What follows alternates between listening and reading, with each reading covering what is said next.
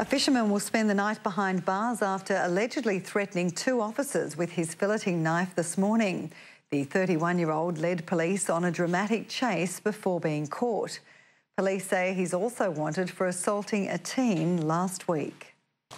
Police backup cars sped through the CBD. Officers on foot cornered the fisherman on the banks of the Ross River. All city crews were called in for backup. Police were taking no chances after he allegedly pulled a knife on two of their own. And he's threatened to uh, stab the officers involved. The 20 minute chase ended in cuffs at Flinders Street Station after arresting officers forced the man to surrender at gunpoint. And I'll make sure that what I want does happen. You don't go into autopilot, but it, it is you, you go into what, what you've been trained to do. Police had tried to arrest the man late yesterday over an alleged assault on an 18 year old last week. He fled but was spotted again this morning.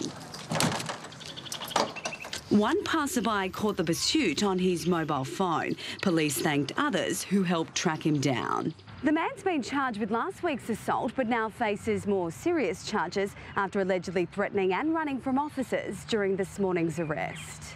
They include two counts of serious assault and obstructing police. The consequences of today's incident could have been a lot worse than what they are. The man will face court tomorrow. Brittany Klein, 7 News.